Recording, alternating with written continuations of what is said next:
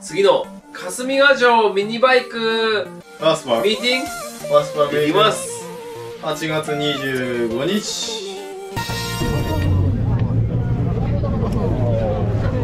4月25に向けてもう一台仕上げます。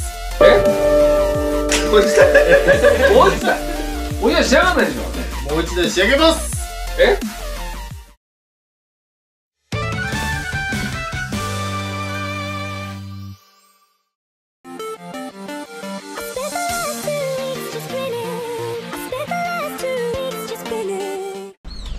わあああああああららららら。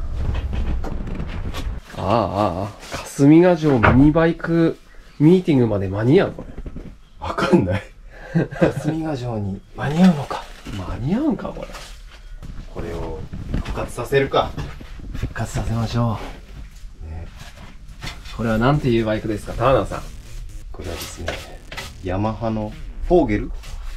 ヤマハフォーゲル。フォーゲル。ヤマハフォーゲル。はヤマハが製造していたオートバイ。型番は 9B50 で1980年から1983年まで販売された。名前のフォーゲル。はドイツ語で鳥を意味する言葉なのだ。過去の HY 戦争の中でホンダのゴリラの対抗馬として開発が行われた車種エンジンは空冷にストローク短気筒の 49cc で GT50 や MR50 等と同系統。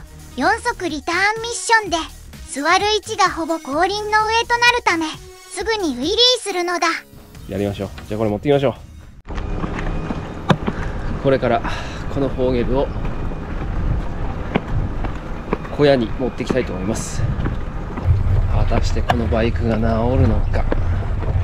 そして霞ヶ城のミニバイクミーティングに間に合わせることができるのか。あと2ヶ月しかないです。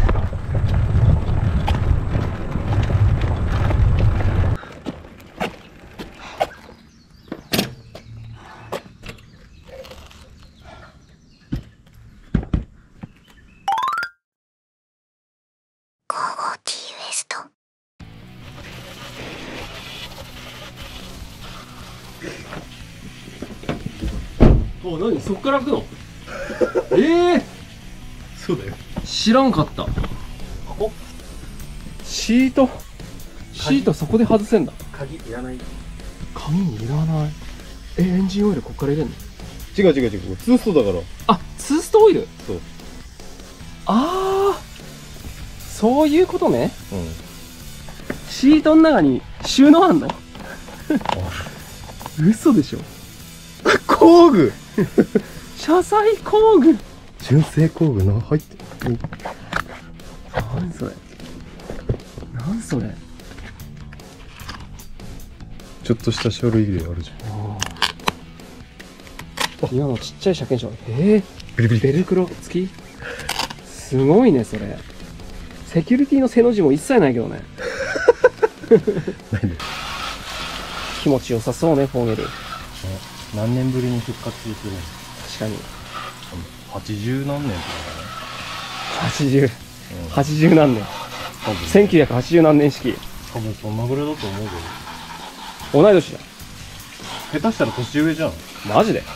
もしかして。うすら40年前のバイクじゃん。多分発売自体短いんじゃないの？発売してるそうだね。期間って兄弟車ポッケだっけ？ポッケ。ポッケ。ヤマハポッケそれこそね。ツーストの。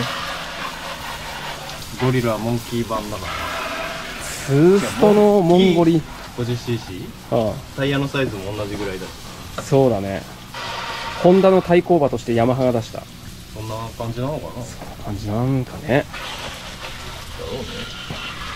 いいよねこのプレスラインとかタンクの。かっこいい。ね。今からフォーゲル泡泡にしていきますよ。泡泡気持ちいい。気持ちいい。これ使いますねこの。コアラコアラのせコーラ乗ってね、細かいところまで指、無理やり入れられる。面白いバイクだなこれ。お弁当。弁当お弁当テール。お弁当。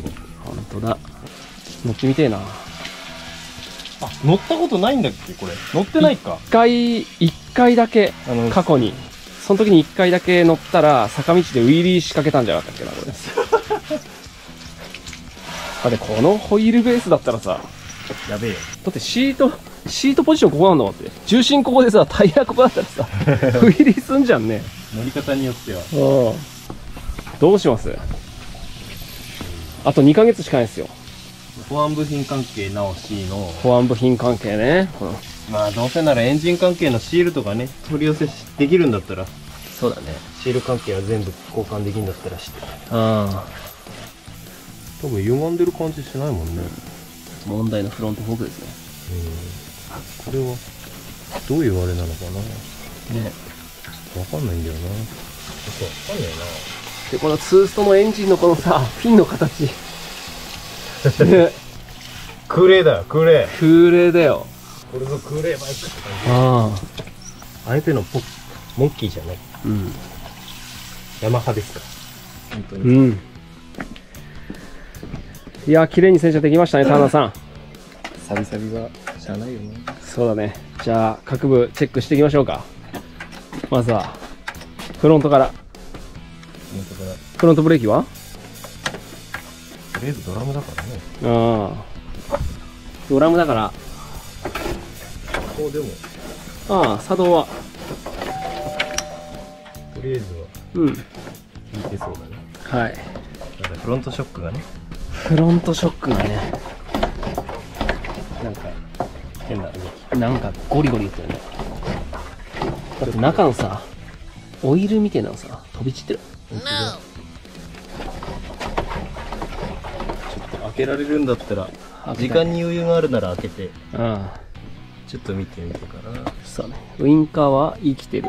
ヘッドライトも生きてそう。中 LED になってる。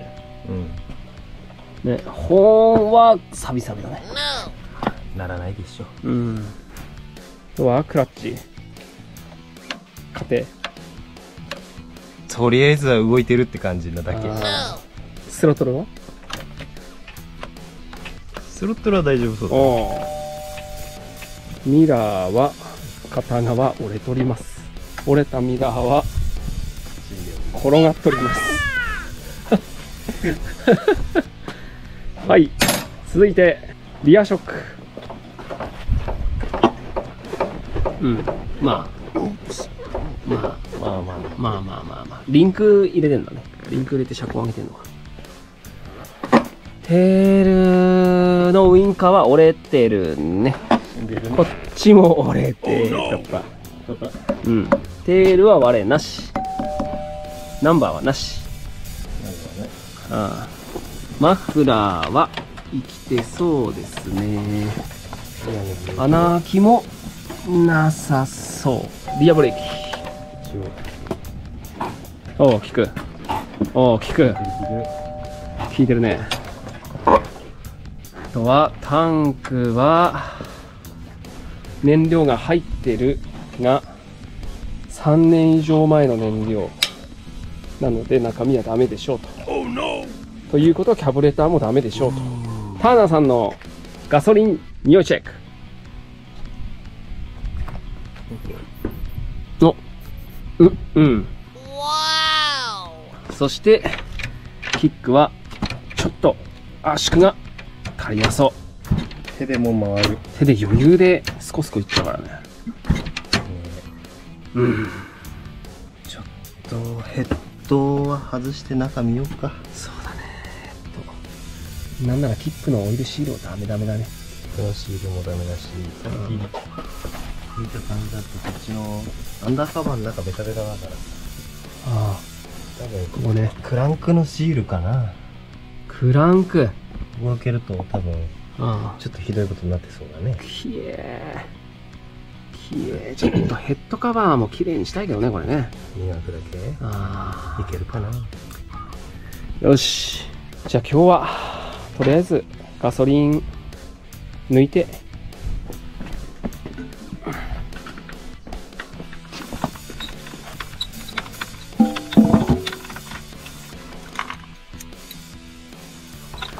なんならこことかも書き始まってるか。6ボルトバッテリー？6ボルトはは。ちっちゃいやんあこんなの最近見た記憶ねえよあヒューズ。バッテリーがだってギボシで繋がってんだよ。あ 本当だ。よく見たら。本当だ。お抜ける抜ける。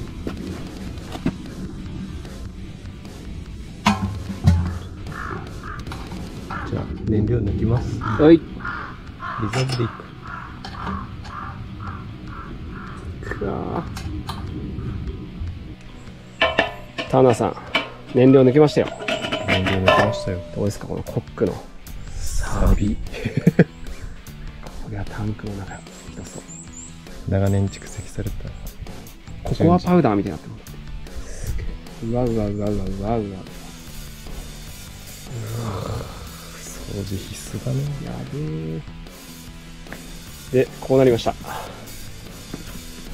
はいタンク取れました。レーシング CDI 入ってるこれ。そしてここまで外すのにボルト3本。でタンクとカバーとシートと。これですわ。どんだけ整備性いいの。じゃあ今日はこれで小屋にしまって終了としますか。じゃあ次回もフォーゲル走らせよう計画お楽しみに。じゃあね。応援コメントチャンネル登録よろしくお願いなのだ。